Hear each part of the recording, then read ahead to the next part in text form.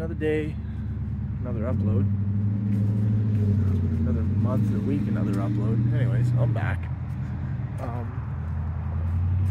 we have some clips from Infamous Aero in Calgary, Alberta.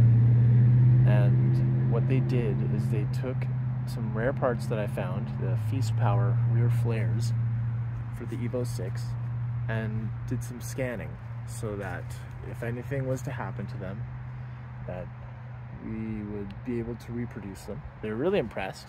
It's a dual-walled carbon part, so I mean, like, not exactly easy to work with the resin and the fibers and stuff like that. So, I mean, very impressive workmanship from those parts.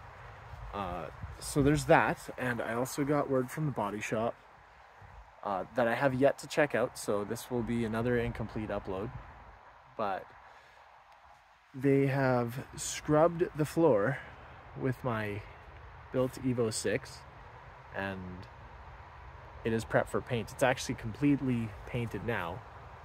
It's painted, um, but we have yet to check that out. So we'll check that out in a very, very near future episode.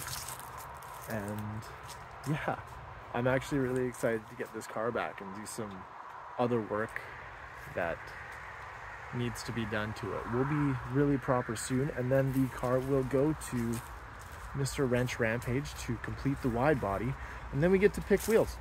So I'm actually undecided on wheels at the moment. They're gonna have to be a pretty interesting spec, but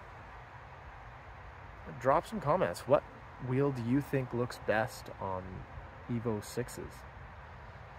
Yeah, so without further ado, here is a mashup of clips that I have.